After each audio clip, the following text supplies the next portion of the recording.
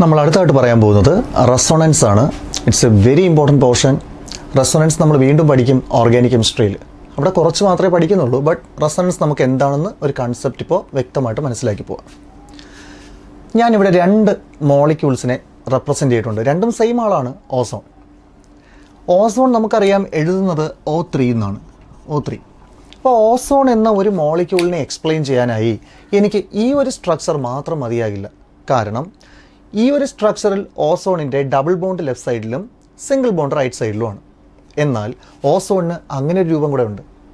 അവിടെ എങ്ങനെയാണ് single bond left സൈഡിലും ഡബിൾ ബോണ്ട് റൈറ്റ് സൈഡിലും അപ്പോൾ ഓസോൺ എന്ന മോളിക്യൂളിനെ എക്സ്പ്ലെയിൻ ചെയ്യാനായി എനിക്ക് ഒരു സ്ട്രക്ചർ മാത്രം പോരാ. ഒന്നിൽ കൂടുതൽ സ്ട്രക്ചറുകൾ വേണ്ടി വരുന്നു. ആക്ച്വലി ഇത് തന്നെയാണ് റെസൊണൻസ് നിങ്ങൾക്ക് കുറച്ചുകൂടെ എളുപ്പത്തിൽ മനസ്സിലാകാനായിട്ട് ഞാൻ ഒരു വേറൊരു എക്സാമ്പിളോട് പറയാം. ഇപ്പോൾ സച്ചിൻ. എനിക്ക് ഒരുപാട് ഇഷ്ടമുള്ള ഒരാളാണ്. അതുകൊണ്ടാണ് ഞാൻ സച്ചിനെ തന്നെ എടുത്തത്.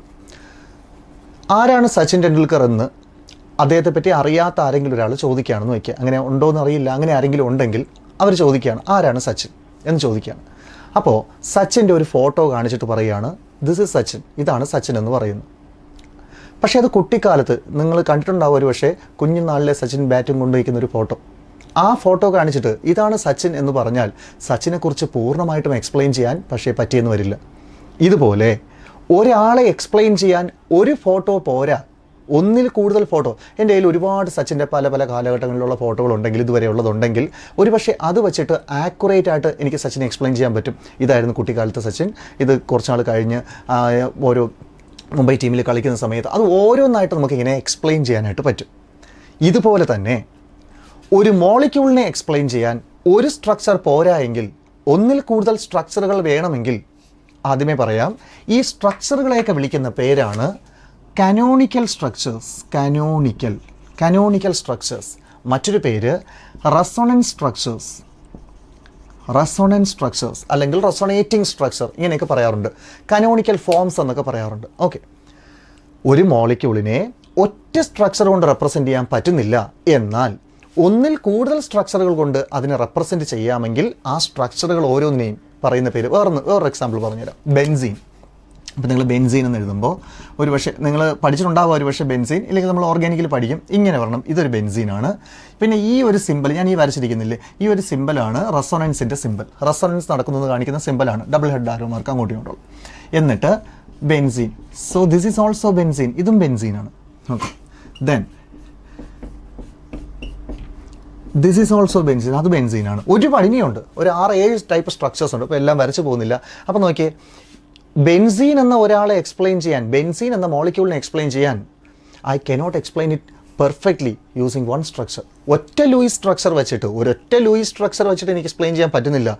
But can be accurately explain using more than one Lewis structures ഒന്നിൽ കൂടുതൽ സ്ട്രക്ചറുകൾ വെച്ചിട്ട് എനിക്ക് പക്ഷേ എക്സ്പ്ലെയിൻ ചെയ്യാൻ പറ്റും. എങ്കിൽ ഈ ഓരോ സ്ട്രക്ചറുകളെയും വിളിക്കുന്ന പേരാണ് കനോണിക്കൽ സ്ട്രക്ചേഴ്സ് അല്ലെങ്കിൽ canonical forms and this method this is called resonance ഈ ഒരു ഫിനോമിനെ പറയുന്ന പേരാണ് റെസൊണൻസ് അപ്പോൾ എന്താ resonance when a molecule cannot be explained using one single Lewis structure one Lewis structure but can be accurately explained using more than one Lewis structures the structures were called as canonical structures and the phenomena is called as resonance ഇപ്പോൾ നിങ്ങൾക്ക് resonance എന്താണെന്ന് മനസ്സിലായി കാണും ഒരാളെ explain ചെയ്യാൻ ഒന്നിൽ കൂടുതൽ പടങ്ങൾ നമുക്ക് ആവശ്യമായി വരുവാണെങ്കിൽ ആ ഓരോ ആളുകളെയും പറയുന്ന പേരാണ് റെസൊണൻസ് സ്ട്രക്ചേഴ്സ് ആ മെത്തേഡിനെ പറഞ്ഞ പേരാണ് അല്ലെങ്കിൽ ആ ഫിനോമിനെ പറഞ്ഞ പേരാണ് റെസൊണൻസ് ഓക്കെ ഇനി നമുക്ക് ജസ്റ്റ് നോട്ടിൽ എന്താ കൊടുത്തിരിക്കുന്നതെന്ന് നോക്കാം. ആ നോട്ട് അതുപോലെയൊക്കെ വായിച്ച് പഠിക്കണം. മിസ്റ്റേക്ക് ഒന്നും വരുത്തരുത് അതിൽ if a molecule cannot be explained using one Lewis structure and can be accurately explained by more than one structure the structures are called canonical structures or resonating structures the phenomena is called resonance the actual structure cannot be indicated on a paper very important one actual സ്ട്രക്ചറിനെ നിങ്ങൾക്ക് ഒരിക്കലും പേപ്പറിൽ വരച്ചു വയ്ക്കാൻ പറ്റില്ല. യഥാർത്ഥ സ്ട്രക്ചറിനെ എന്ന് വെച്ചാൽ ഓസോണിന്റെ യഥാർത്ഥ സ്ട്രക്ചർ ഇതായിരിക്കില്ല അത് മാറിക്കൊണ്ടിരിക്കുന്നതായിരിക്കാം. ആക്ച്വൽ ആയിട്ടുള്ള സ്ട്രക്ചർ നിങ്ങൾ നിങ്ങൾക്ക് ജസ്റ്റ് ഒരു റഫ് ആയിട്ടുള്ള സ്ട്രക്ചർ വരച്ച് ബെൻസിൻ ഇതാവണമെന്നില്ല ഇതായിരിക്കില്ല ബെൻസിൻ. ബെൻസിന്റെ റഫായ സ്ട്രക്ചർ വരയ്ക്കാനേ നിങ്ങൾക്ക് പറ്റൂ. ആക്ച്വലായിട്ട് എന്താണ് ബെൻസിൻ? അതിനെ നിങ്ങൾക്ക് റെപ്രസെന്റ് ചെയ്യാൻ പറ്റില്ല. അപ്പോൾ റെസണൻസ് സ്ട്രക്ചറുകൾ വരയ്ക്കാമെന്നല്ല റെസനേറ്റിംഗ് സ്ട്രക്ചറുകൾ വരയ്ക്കാമെന്നല്ല അത് ആക്ച്വൽ സ്ട്രക്ചറിന് ഒരു പേപ്പറിൽ ഇൻഡിക്കേറ്റ് ചെയ്യാനായിട്ട് പറ്റില്ല. ശ്രദ്ധിച്ചോളണം. Next canonical forms will not have any real existence ഈ കനോണിക്കൽ ഫോംസിനൊന്നും ഇങ്ങനെ ഒരു മോളിക്കൂൾ ഇങ്ങനെ തന്നെ നിൽക്കും. ഇതിന്റെ എക്സിസ്റ്റൻസ് ഒന്നുമില്ല. Resonance stabilise a molecule very very very important portion ഇവിടെ ഓസോണിന്റെ രണ്ട് റെസൊണൻസ് സ്ട്രക്ചറുകളുണ്ട് അല്ലേ ബെൻസീനിന് ഒരു പക്ഷേ ഇതല്ല ഇനിയുണ്ട് ഒരു ഏഴ് റെസണൻസ് സ്ട്രക്ചർ ഉണ്ടെന്ന് വെച്ചോ. ഇയാൾക്ക് രണ്ട് റെസണൻസ് സ്ട്രക്ചർ ഇയാൾക്ക് ഏഴ് റെസണൻസ് സ്ട്രക്ചർ ആരാ? More stable no doubt more stable is benzene. കാരണം റെസണൻസ് സ്ട്രക്ചറുകളുടെ എണ്ണം കൂടുന്തോറും സ്റ്റെബിലിറ്റി കൂടും. അതിന്റെ റീസൺ നമ്മൾ പഠിക്കുന്നത് ഈ വർഷം ഓർഗാനിക് കെമിസ്ട്രിയിലാണ് അതായത് നമ്മൾ റെസൊണൻസ് എഫക്റ്റ് എന്നും പറഞ്ഞൊരു പോർഷൻ പഠിക്കും. അന്നേരം പഠിക്കും. ഇലക്ട്രോണിന്റെ മൂവ്മെന്റ് വഴി ഉണ്ടാകുന്ന ഒരു പ്രോപ്പർട്ടിയാണ് തൽക്കാലം നിങ്ങൾ ഇത്രമാത്രം പഠിക്കുക. റെസൊണൻസ് സ്ട്രക്ചർ എത്രത്തോളം കൂടുവോ അത്രത്തോളം സ്റ്റെബിലിറ്റിയും കൂടും. ഓക്കെ ഇനി the difference in energy between actual resonance structure അതോട് പറഞ്ഞത്. ഓക്കെ അതിനായിട്ട് ഞാൻ വേറൊരു എക്സാമ്പിൾ പറഞ്ഞുതരാം. ഇപ്പോൾ ഒരാൾ ചോദിക്കുകയാണ് പേന എന്താണെന്ന് ചോദിക്കണം പേന നമുക്കറിയാം പേന എന്ന് പറയുന്നത് എന്താണ് എന്ന് ചോദിക്കുമ്പോൾ ഞാൻ ഈ ചോക്ക് എടുത്ത് കാണിച്ചിട്ട് ദിസ് ഈസ് പെൻ എന്ന് പറയാൻ പറ്റില്ല. പക്ഷേ പേനയുമായിട്ട് റിലേറ്റ് ചെയ്ത് വരുന്ന ഒരു കാര്യം തന്നെയാണ് ഈ ചോക്ക് അത് എഴുതാൻ ഉപയോഗിക്കുന്നു ഇത് എഴുതാൻ ഉപയോഗിക്കുന്നു. ഈ ഒരു ചോക്ക് കൊണ്ട് മാത്രം പേന എന്നൊരു കൺസെപ്റ്റ് എക്സ്പ്ലെയിൻ ചെയ്യാൻ പറ്റില്ല എങ്കിലും ഞാൻ പറയുന്നു ഓൾമോസ്റ്റ് ഇതുപോലെ ഇരിക്കും എന്ന് പറയുന്നു. ബട്ട് ഇത് വെച്ചിട്ട് മാത്രം എക്സ്പ്ലെയിൻ ചെയ്യാൻ പറ്റില്ലല്ലോ. സോ അടുത്തതായിട്ട് ഒരു മാർക്കർ കാണിക്കുകയാണ്. എന്ന് പറഞ്ഞു? ദിസ് ഇസ് പെൻ ആക്ച്വലി ഇത് കറക്റ്റ് ഒരു പേനയല്ല ഇതൊരു വൈറ്റ് ബോർഡ് മാർക്കറാണെന്നറിയാം പക്ഷേ ഇതും കാണിക്കുന്നു. അടുത്തായിട്ട് വേറൊരു മാർക്കർ കാണിക്കുന്നു. ഓക്കെ വേറൊരു മാർക്കർ കാണിച്ചു. ഇനി ഇതെല്ലാം കഴിഞ്ഞതിന് ശേഷം ഞാൻ ഒരു ബോൾ പെന്ന് കാണിച്ചു. അപ്പോൾ ഇവിടെ നാല് കാര്യങ്ങളാണ് പെൻ എന്നൊരു കൺസെപ്റ്റ് എക്സ്പ്ലെയിൻ ചെയ്യാൻ വേണ്ടി ഞാൻ കാണിച്ചത്. ഈ കൂട്ടത്തിൽ ഏറ്റവും സ്റ്റേബിൾ ആരാ? ഈ കൂട്ടത്തിൽ അതുമായിട്ട് റിലേറ്റ് ചെയ്ത് വരുന്ന ഏറ്റവും സ്റ്റേബിൾ ആരാ? ഇതല്ലേ. ഇതിന് പറയുന്ന പേരാണ് മോസ്റ്റ് സ്റ്റേബിൾ റെസണൻസ് സ്ട്രക്ചർ ഇത് നാല് പേരെയും നമുക്ക് പറയാം റെസണൻസ് സ്ട്രക്ചർ ഈ കൂട്ടത്തിൽ ഏറ്റവും പെർഫെക്റ്റ് ആയിട്ട് ആ ഗുണങ്ങളെല്ലാം കാണിക്കുന്നയാളാണ് മോസ്റ്റ് സ്റ്റേബിൾ റെസണൻസ് സ്ട്രക്ചർ അപ്പോൾ ഞാൻ എന്താ ഇത് പറഞ്ഞതെന്ന് വെച്ചാൽ ഇപ്പോൾ എന്റെ കയ്യിൽ മൂന്ന് സ്ട്രക്ചേഴ്സ് ഉണ്ട്. ഈ മൂന്ന് പേരെയും നമുക്ക് റെസണൻസ് സ്ട്രക്ചർ റെസനേറ്റിംഗ് സ്ട്രക്ചർ എന്ന് പറയാം. ആ കൂട്ടത്തിൽ ഏറ്റവും സ്റ്റേബിൾ ആരാണോ? ഒരു പക്ഷേ ആ കൂട്ടത്തിൽ ഏറ്റവും stable ഇയാളാണെങ്കിൽ this is the most stable resonance structure ഒന്നുകൂടെ. ഇയാൾക്കൊരു എനർജി കാണും. ഇയാൾക്കൊരു എനർജി എന്തായാലും കാണും. ആക്ച്വലായിട്ടൊരു സ്ട്രക്ചർ കാണുമല്ലോ. അതിനും ഒരു എനർജി കാണും. ആക്ച്വൽ സ്ട്രക്ചർ അത് നമ്മൾ പറഞ്ഞു ഈ പേപ്പറിലൊന്നും വരച്ച് കാണിക്കാൻ പറ്റില്ല എന്ന് ഇവർ തമ്മിലുള്ള എനർജിയുടെ ഡിഫറൻസിന് പറയുന്ന പേരാണ് resonance energy it is very important one എന്താണ് റെസൊണൻസ് എനർജി എന്ന് ചിലപ്പോൾ എക്സാമിന് ചോദിക്കും. അപ്പോൾ പറയണം it is the difference in energy between actual structure and most stable resonating structure resonating structure ഒരുപാട് കാണും. ആ കൂട്ടത്തിൽ ഒരാൾ വളരെ സ്റ്റേബിൾ ആയിരിക്കും. അതും ആക്ച്വൽ സ്ട്രക്ചറും തമ്മിലുള്ള എനർജി ഡിഫറൻസിന് പറയുന്ന പേരാണ് റെസൊണൻസ് എനർജി. അപ്പോൾ ഓൾമോസ്റ്റ് നിങ്ങൾക്ക് അതിനകത്തുള്ള എല്ലാ കാര്യങ്ങളും പറഞ്ഞിട്ടുണ്ടെന്നാണ് തോന്നുന്നത്. നമ്മൾ പഠിച്ചത് റെസൊണൻസ് എന്ന് പറയുന്നത്. If a molecule cannot be explained using one Lewis structure and can be explained using more than one Lewis structure, the method is called resonance and the structures are called as canonical structures or resonance structure. പിന്നെ നമ്മൾ കുറച്ച് point പറഞ്ഞു വന്നതിൽ difference in energy between actual structure and most stable resonance structure അതിൽ വേറൊന്നുകൂടെ പഠിക്കാനുണ്ട് actual സ്ട്രക്ചറിന് energy കുറവാണ് യഥാർത്ഥ സ്ട്രക്ചറിന് ആക്ച്വൽ സ്ട്രക്ചറിന് എനർജി കുറവാണ്. എന്നാൽ ഈ കൂടുതലുള്ള മോസ്റ്റ് സ്റ്റേബിൾ സ്ട്രെസ് സ്ട്രക്ചറിന് എനർജി കൂടുതലായിരിക്കും. അയാൾക്ക് എനർജി കൂടുതലായിരിക്കും. ഇവർ തമ്മിലുള്ള എനർജിയുടെ ഡിഫറൻസിനെ പറയുന്ന പേരാണ് റെസൊണൻസ് എനർജി ഓക്കെ പിന്നെ conditions for resonance it's very important conditions for resonance റെസൊണൻസിന്റെ conditions എന്തൊക്കെയാണെന്ന് നമുക്കൊന്ന് നോക്കാം. അതിൽ ഒന്നാമത്തെ കണ്ടീഷൻ എന്ന് പറയുന്നത് canonical forms must have comparable energy ഇതേ നോക്കിയേ ഓസോണിന് രണ്ട് റെസണേറ്റ് സ്ട്രക്ചർ ഞാൻ വരച്ചു. ഈ രണ്ട് പേരുടെയും എനർജി കമ്പയറബിൾ ആയിരിക്കണം. എന്ന് പറഞ്ഞാൽ ഇവന്റെ എനർജി അവന്റെ എനർജി വലിയ വ്യത്യാസം ചെറിയ വ്യത്യാസം ഉണ്ടാവും ഉറപ്പായിട്ടും ഉണ്ടാവും. വലിയൊരു വ്യത്യാസം എനർജിയിൽ ഉണ്ടാകരുത് രണ്ടുപേർക്കും. ഇത് എക്സാമിന് ചോദിക്കും അതുകൊണ്ട് ശ്രദ്ധിച്ച് പഠിച്ചോളണം. കണ്ടീഷൻസ് ഫോർ റെസൊണൻസ് ഒന്നാമത്തെ കണ്ടീഷൻ റെസനേറ്റീവ് സ്ട്രക്ചറുകൾക്ക് എനർജി ഇപ്പോൾ ഇവിടെ ഞാൻ മൂന്ന് പടങ്ങൾ വെച്ചു ഈ മൂന്ന് പേർക്കും ഓൾമോസ്റ്റ് സെയിം എനർജി ആയിരിക്കണം. ചില ആളുകൾക്ക് എനർജിയിൽ വ്യത്യാസം ഉണ്ടാകും ചെറിയ വ്യത്യാസം അതുണ്ടാകും രണ്ട്. Relative positions of atoms in a molecules remain the same നോക്കിയേ. ഇവിടെ ഒരു ഓക്സിജൻ ഇവിടെ ഒരു ഓക്സിജൻ ഇവിടെ ഒരു ഓക്സിജൻ അടുത്ത സ്ട്രക്ചറിലും അങ്ങനെ തന്നെ വരണം. അവിടെ ഒന്ന് ഇവിടെ ഒന്ന് ഇവിടെ ഒന്ന്. എന്ന് പറഞ്ഞാൽ ആറ്റംസിന്റെ പൊസിഷൻ ഒന്നും മാറാൻ പാടില്ല. എത്ര സ്ട്രക്ചർ വേണം നിങ്ങൾ വരച്ചോളൂ. ആറ്റംസിന്റെ പൊസിഷൻ മാറാൻ പാടില്ല. Okay number of paired and unpaired electrons remains the same paired ഇലക്ട്രോണുകളും ഇപ്പോൾ ഉദാഹരണത്തിന് ഇവിടെ ഒരാറ്റത്തിന് ഒരു അൺപെയ്ഡ് ഇലക്ട്രോൺ ഉണ്ടെങ്കിൽ അടുത്തയാൾക്കും അതുപോലെ അൺപെയ്ഡ് ഇലക്ട്രോൺ ഉണ്ടായിരിക്കണം. ഇനി ഇവിടെ പേര് ഇവിടെ നോക്കിയേ ഒരു ഡബിൾ ബോണ്ടില്ലേ അതുപോലെ അവിടെ ഒരു ഡബിൾ ബോണ്ട് ഉണ്ടായിരിക്കണം. ഇവിടെ ഒരു സിംഗിൾ ബോണ്ട് ഉണ്ട്. അതുപോലെ അവിടെ ഒരു സിംഗിൾ അതുപോലെ ഒരു സിംഗിൾ ബോണ്ട് അവിടെ ഉണ്ടായിരിക്കണം.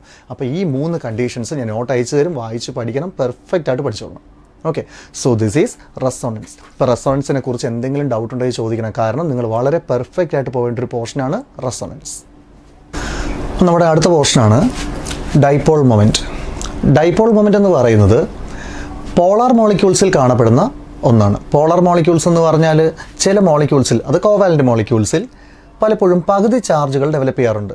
നമുക്കറിയാം കോവാലന്റ് മോളിക്യൂൾസിൽ സാധാരണ ചാർജ് ഡെവലപ്പ് ചെയ്യാറില്ല. അയോണി കോമ്പൗണ്ടുകളിലാണ് അത് ഉണ്ടാകുന്നത് പക്ഷേ കോവാലന്റ് മോളിക്യൂൾസിലും നെഗറ്റിവിറ്റി കൂടിയ ആളുകളുടെ പ്രസൻസിൽ പകുതി ചാർജുകൾ ഉണ്ടാകാറുണ്ട്. ഇത്തരം മോളിക്യൂൾസിലാണ് സാധാരണയായിട്ട് ഡൈപോൾ മൂവ്മെന്റ് കാണുന്നത്. പിന്നെ നമുക്ക് ഈ ഒരു പോളാർ മോളിക്യൂൾസിനെ കുറിച്ചൊക്കെ നമ്മുടെ നെക്സ്റ്റ് ചാപ്റ്റർ സ്റ്റേറ്റ്സ് ഓഫ് മാറ്ററിലാണ് പഠിക്കാനുള്ളത്. തൽക്കാലം നമുക്ക് ഡയറക്റ്റ് ആയിട്ട് ഡൈപോൾ മൂവ്മെന്റ് എന്താണെന്നതിന് പറഞ്ഞു പോവാം. ഒരു മോളിക്യൂളിൽ ഏതെങ്കിലും ഒരു ആറ്റത്തിന്റെ ചാർജ്. ഇപ്പോൾ ഇവിടെ എച്ച് സി എൽ ആണ് ഞാൻ എടുത്തിരിക്കുന്നത്. ഈ എച്ച് സി എൽ ഒന്നുകിൽ ഹൈഡ്രജന്റെ അല്ലെങ്കിൽ ക്ലോറിന്റെ charge. Charge developed on any one of the atom ഇതിനകത്ത് ഹൈഡ്രജന്റെ ആ പകുതി പോസിറ്റീവ് ചാർജ് ആവാം അല്ലെങ്കിൽ ക്ലോറിന്റെ പകുതി നെഗറ്റീവ് ചാർജ് ആവാം എന്ത് വേണമാവാം ഏതെങ്കിലും ഒരു ആറ്റത്തിന്റെ charge that is Q Q എന്ന് പറഞ്ഞാൽ ചാർജ്. എന്നിട്ട് ഈ ആറ്റങ്ങൾക്കിടയ്ക്കുള്ള ദൂരം ഡിസ്റ്റൻസ് ബിറ്റ്വീൻ ദ ആറ്റംസ് അതിനെയാണ് ഞാൻ ആറെന്ന് എടുത്തിരിക്കുന്നത്. ഓക്കെ അപ്പോൾ ചാർജിനെ ഡിസ്റ്റൻസ് കൊണ്ട് മൾട്ടിപ്ലൈ ചെയ്യുന്ന സമയത്ത് കിട്ടുന്ന വാല്യൂ ആണ് dipole moment charge into distance this is dipole moment dipole moment represent ചെയ്യുന്നത് മ്യൂ എന്ന ഒരു സിമ്പിൾ വെച്ചിട്ടാണ്. മ്യൂ നമ്മൾ mu പഠിച്ചിട്ടുള്ളതാണല്ലോ. Okay so this is dipole moment ഇനി നമുക്ക് കുറച്ച് മോളിക്യൂൾസിന്റെ ഡൈപോൾ മൊമെന്റ് നോക്കാം. ആദ്യം നമുക്ക് നോട്ടിൽ ഡെഫിനേഷൻ ഒന്ന് വായിക്കാം.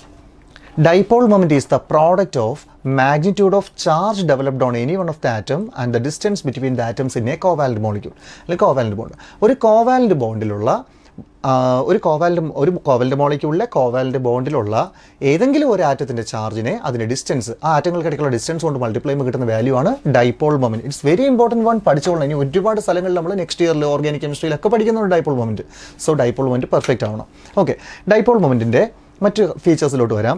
It is represented by the letter mu mu എന്ന ലെറ്റർ കൊണ്ടാണ് റെപ്രസെന്റ് ചെയ്യുന്നത്. Okay unit of dipole moment is debye അതിന്റെ യൂണിറ്റ് എന്ന് പറയുന്നത് ഡിബൈ ആണ്. Debye symbol D capital D കൊണ്ടാണ് റെപ്രസെന്റ് ചെയ്യുന്നത്. Debye okay next one debye ഒരു ഡിബൈ എന്ന് പറയുന്നത് എത്രയാണ് എന്ന് കൊടുത്തിട്ടുണ്ട്.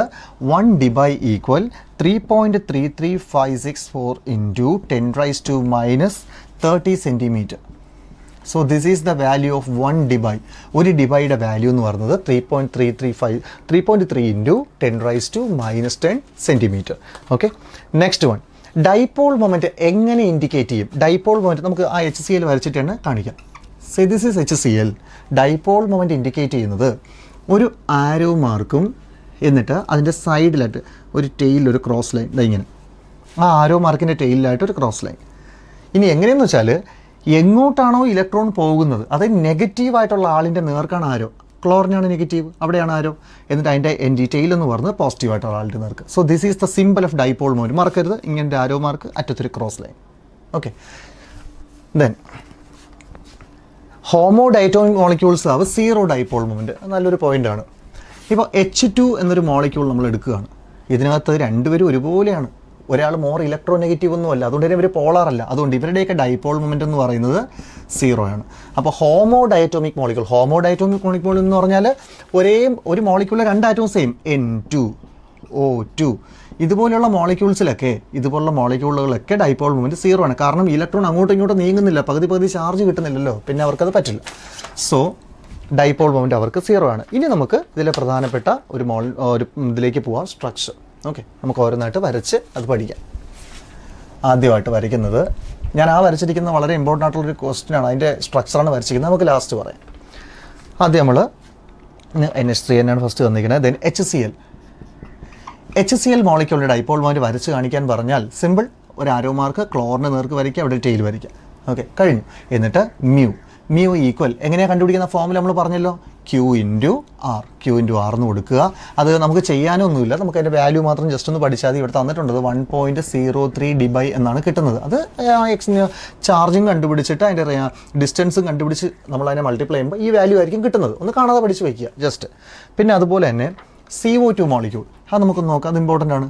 C O two say this is C O two C O two മോളിക്യൂളിന്റെ structure ഇതാണ്. നിങ്ങൾ എന്നെ പറഞ്ഞ് എങ്ങനെയായിരിക്കും ഡൈപോൾ നമ്മൾ വരയ്ക്കുന്നത് സിമ്പിൾ അതിലേക്ക് നോക്കുക നെഗറ്റീവ് ആരും നോക്കുക? നെഗറ്റീവ് ആരാ? ഓക്സിജൻ അപ്പോൾ അങ്ങോട്ട് വരയ്ക്കുക. എന്നിട്ട് ഇവിടെ ഇടണം. ഈ ഈ ഈ സ്ട്രക്ചർ നോക്കി ഈ സി ഒ ആറ്റത്തിന് വയ്ക്കാൻ നോക്കിയേ ദാ ഇങ്ങനെ. ഓക്കെ അപ്പോൾ പിന്നെ ഇവിടെ ഡൈപോൾ മൂവ്മെന്റ് കണ്ടുപിടിക്കുമ്പോൾ സൂക്ഷിക്കണം. Mu equal Q into R formula അതാണ്. ഇത് ചെയ്യുമ്പോൾ നമുക്കിത് ചെയ്യാൻ അറിയില്ല പക്ഷേ നമുക്ക് ഇതിന്റെ ആൻസർ കിട്ടും. സി ഒയുടെ ഡൈപോൾ മൂവ്മെന്റ് അങ്ങോട്ടാണ്. ഒന്ന് നേരെ തിരിച്ചാണ്. വളരെ ശ്രദ്ധിച്ചോളണം. ഓപ്പോസ് സൈഡിലേക്ക് പോകുന്നയാൾ അങ്ങോട്ട് പോകുന്നതിനെ ക്യാൻസൽ ചെയ്യും. സോ ക്യാൻസൽ ആയിട്ട് പോയിട്ട് എത്ര വരും? സീറോ ഡി ബൈ എന്ന് കിട്ടും. സീറോ ആണ് ഇവിടെ ആൻസർ കിട്ടുന്നത്. അങ്ങോട്ടുള്ള ഡൈപോൾ മൊമെന്റിനെ ഇങ്ങോട്ടുള്ളത് ക്യാൻസൽ ചെയ്യും. അതൊന്ന് ഓർമ്മിച്ച് വെച്ചേക്കണം. ഓക്കെ നെക്സ്റ്റ് നമുക്ക് അടുത്ത ക്വസ്റ്റിനിലേക്ക് വരാം. B F three B F three say this is a structure ഈ ബി എഫ് ത്രീക്ക് എങ്ങനെയാണ് ഈ സ്ട്രക്ചർ വന്നതെന്നും മറ്റു കാര്യങ്ങളൊക്കെ നമ്മൾ പഠിക്കുന്നുണ്ട്. ആ പഠിക്കുന്നത് കുറച്ചുകൂടെ കഴിഞ്ഞ് next portion B S C പേര് നമ്മൾ ഇത് കഴിഞ്ഞ് ഈ ഡൈപ്പോളുമെന്റ് കഴിഞ്ഞ് ഇനി പഠിക്കാൻ പോകുന്നതാണ്. അപ്പോൾ അതിനകത്ത് അതൊക്കെ വരുന്നുണ്ട്. So B F three B F three വരുമ്പോൾ നോക്കുക. നെഗറ്റീവ് ആരാണ്? എപ്പോഴും നെഗറ്റീവ് എന്ന് പറഞ്ഞാൽ സെൻട്രൽ ആറ്റം വരില്ലല്ലോ. ചുറ്റും ഇരിക്കുന്ന ആളല്ലേ അപ്പോൾ അയാളാണ് അപ്പോൾ ഫ്ലോറിനിലേക്ക് ഇതാ പോകുന്നു. ആ ഫ്ലോറിനിലേക്ക് വരയ്ക്കുന്നു. ഡൈപ്പോൾ പോയിന്റ് വരച്ച് കാണിക്കുന്നതാണ്. ഇങ്ങോട്ട് വരയ്ക്കുന്നു. നോക്കിയേ. ഇങ്ങോട്ടൊരു പോയിന്റ് ഉണ്ട് ഇങ്ങോട്ടുണ്ട്. രണ്ടിനെയും കൂടെ ക്യാൻസൽ ചെയ്യാൻ മുകളിലോട്ട് ഒരാൾ പോകുന്നുണ്ട്. സോ മ്യൂ എന്ന് പറയുന്നത് Q into R equal zero zero debye കാരണം ഇങ്ങോട്ടും ഇങ്ങോട്ടും പോകുന്ന രണ്ടാൾക്കാരെ ക്യാൻസൽ ചെയ്യാൻ ഒരാൾ ഓപ്പോസിറ്റ് പോകുന്നുണ്ട്. ഓപ്പോസിറ്റ് ഡയറക്ഷനിലുള്ള ഡൈപ്പോൾ പോയിന്റ് രണ്ടിനെയും ക്യാൻസൽ ചെയ്തോളെ. ഓക്കെ ഇനി നമുക്ക് വളരെ പ്രധാനപ്പെട്ട ഒരു ക്വസ്റ്റിനിലേക്ക് വരാം. പിന്നെയും ഒരുപാട് മോളിക്യൂൾസ് നോട്ടിൽ തന്നിട്ടുണ്ട്. അതൊക്കെ ഒന്ന് നോക്കിയോളൂ സോ നമുക്ക് ഇത് എക്സാമിന് പബ്ലിക് എക്സാമിനേഷനോ എൻട്രൻസിനോ ഒക്കെ ചോദിക്കാവുന്ന ഒരു question N F three from these V ഷൻ have more dipole moment value N H ത്രീയും എൻ എഫ് ത്രീയും നിങ്ങൾക്ക് തന്നിരുന്നാൽ ഇതിൽ ആരാണ് ഡൈപോൾ മൊമെന്റിന്റെ വാല്യൂ കൂടിയാളെന്ന് ചോദിച്ചു കഴിഞ്ഞാൽ നമുക്ക് ആദ്യം ഡൈപോൾ മൊമെന്റ് വരച്ചു നോക്കാം. ഇലക്ട്രോൺ നെഗറ്റീവ് ആയിട്ടുള്ള ആളിലേക്കാണ് എപ്പോഴും വരയ്ക്കേണ്ടത്. ഹൈഡ്രജനേക്കാൾ നെഗറ്റീവാണ് നൈട്രജൻ സോ അങ്ങോട്ട് വരയ്ക്കാം. നമ്മൾ ഡൈപോൾ മൂവിന്റെ സൈൻ വരച്ചു കഴിഞ്ഞു. പിന്നെ ഈ ബോണ്ടിങ്ങിലൊന്നും പങ്കെടുക്കാതിരിക്കുന്ന ഇയാളെ ലോൺ പെയർ എന്നാണ് വിളിക്കുന്നത്. നമ്മൾ ഇങ്ങനെയാണ് വരച്ച് കാണിക്കുന്നത്. ലോൺ പെയറിനെ വരയ്ക്കുന്നത് അങ്ങനെയാണ്. Lone pair so this is lone pair lone പെയറിന്റെ direction എപ്പോഴും മുകളിലേക്കായിരിക്കും. സോ ലോൺ പെയറിന്റെ ഡയറക്ഷൻ മുകളിലോട്ടാണ്. ഓക്കെ ഇത് റിസൾട്ടന്റ് ആയിട്ടും എടുക്കാം നിങ്ങൾക്ക്. എങ്കിലും ഞാൻ അങ്ങ് കാണിച്ചു തന്നേ ഉള്ളൂ. അടുത്ത മോളിക്യൂളിലേക്ക് നോക്കിക്കഴിഞ്ഞാൽ നൈട്രജൻ ഉണ്ട് ഫ്ലൂറിനുണ്ട് മോർ നെഗറ്റീവ് ഫ്ലൂറിനാണ് സോ ഇങ്ങോട്ട് വരയ്ക്കാം നമുക്ക്. ഇങ്ങോട്ട് വരയ്ക്കാം. ഓക്കെ ലോൺ പെയർ ഡയറക്ഷൻ എപ്പോഴും ഇങ്ങോട്ടായിരിക്കും മുകളിലോട്ടായിരിക്കും. സേ നിങ്ങൾക്ക് എക്സാമിന് ചോദിക്കുന്ന ക്വസ്റ്റൻ ഇങ്ങനെയായിരിക്കും. അമോണിയ എന്ന് പറയുന്ന molecule one point four nine debye ആണ്. മ്യൂ എന്ന് പറയുന്നത് one point four nine debye എന്നാൽ എൻ എഫ് ത്രീ എന്ന് പറയുന്ന മോളിക്യൂളിന് എൻ എഫ് ത്രീക്ക് ആകുമ്പോൾ സീറോ പോയിന്റ് ടു ഫൈവ് ഡിബൈയേ ഉള്ളൂ.